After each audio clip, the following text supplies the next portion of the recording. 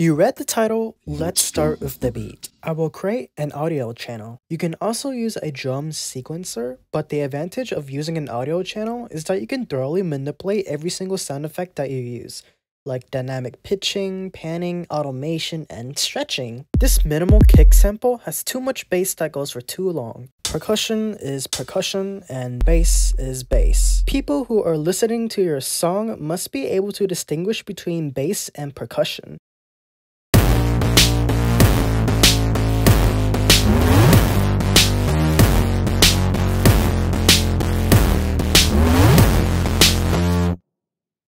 So to remove some unwanted bass, you could squish the sample so it lasts for a much shorter time. You can also apply filters and EQ to remove more of the bass frequencies, but I think that is overkill for what we're working with. I will copy and paste this sample to form a simple little beat. You can make the beat as complex as you want, but I'll keep it simple for this demonstration. In fact, my latest song uses this exact beat throughout almost the entire song. Link to that in the description if you care anyway.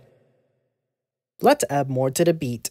I'll add a monster kick and a snare. The snare should come after every other minimal kick. The monster kick will add more punch to the beat. I added a little bit of distortion to make the beats more punchy.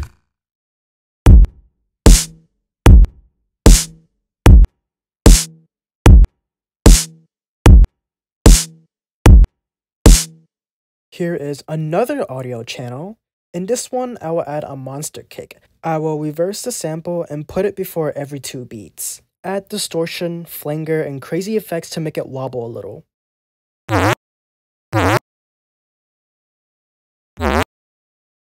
And to make it wobble more, I'll automate the panning. Tap this panning slider and at the very top of the bottom menu dock, press Ctrl and add automation track.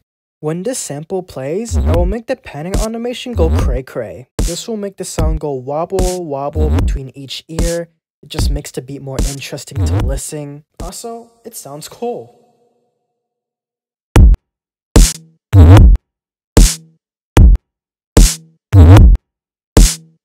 Okay, I'm going to add another audio channel. I will load a beat with a different monster kick sample. Add heavy distortion and reverb to this bad boy. This is what makes the beat shine through.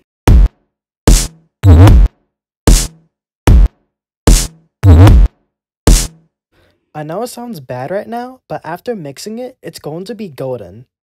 Okay, now for the bass. The bass is what completes the soundtrack, or whatever we're making. It's going to be the filler in this mix. I will add a new channel and select the GM synth. You can select whatever preset you like. I will choose the punchy preset. Before I add any effects on it, let's work on the bass line.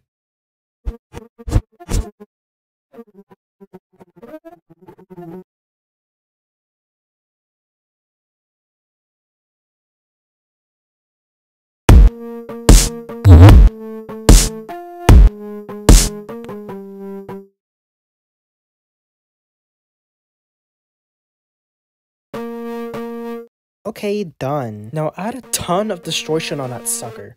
Add other effects of your choice to make the bass more wide and thick. Let's have a listen.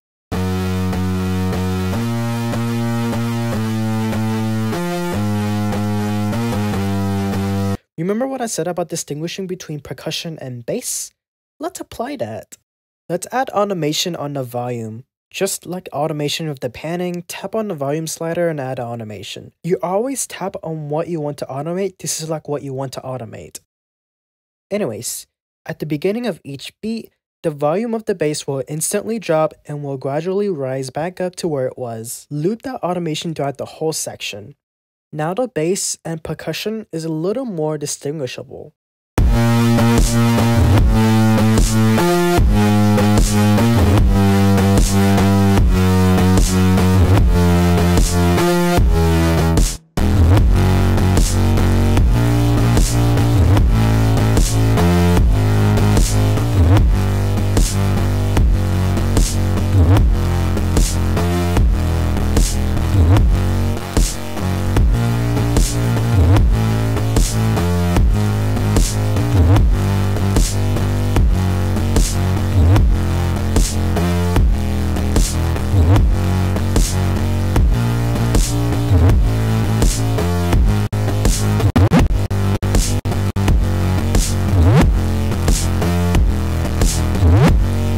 Before working on any other instruments, let's start adding chords. I'll make another channel for those and we'll use a closed grand sample. Ah, the classic. Chords are multiple notes playing at once that harmonize with each other. You can search for chord progressions online. I created mine by ear. I don't even know how my music sounds so good that you asked me to make a tutorial, honestly.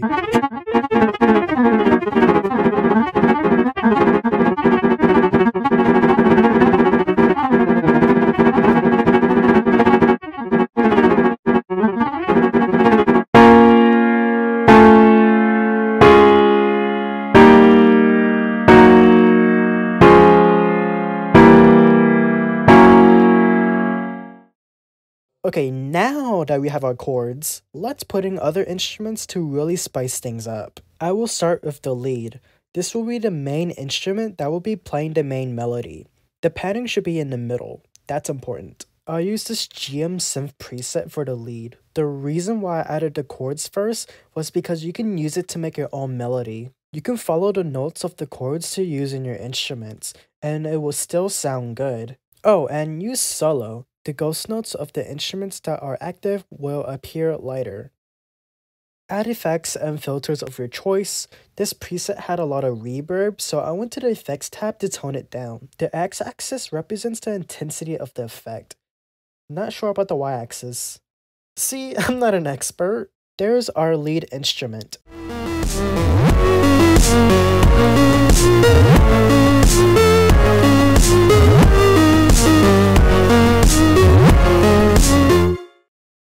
Around the second half of the section, I will add another instrument that will harmonize with the lead instrument. Again, follow the notes of the chords like the lead, but distinguish it from the lead instrument. I used a sample and applied these effects on it. For example, I used reverb to create contrast of the bass. The bass is all up on your face, whereas this recessive instrument sounds a little more distant.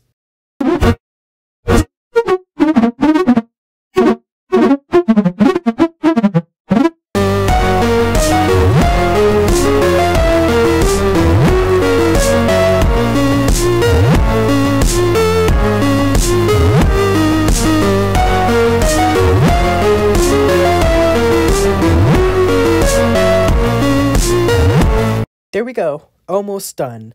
Now to spice up our mix even more, let's add white noise. You can do this by opening up a new GM synth, no need to select a preset, go into this tab, and putting the noise slider all the way up. You can see that it sounds the same no matter which note you press. I will pick a random note. Again, it sounds the same no matter which key you press, and extend it to the end. By adding a volume automation on it, you can create some cool riser and impact effects.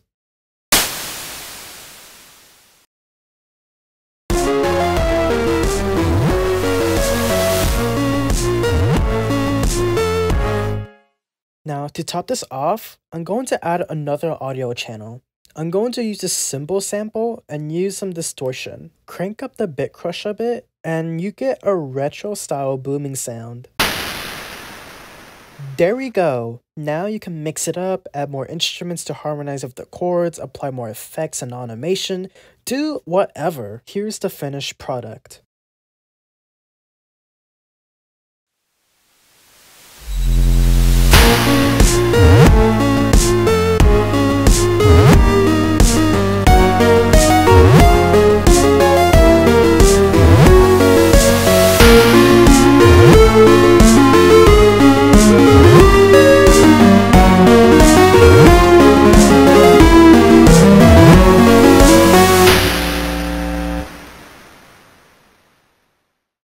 Guess what? For watching this entire tutorial, I will provide the download of this project in the description for you.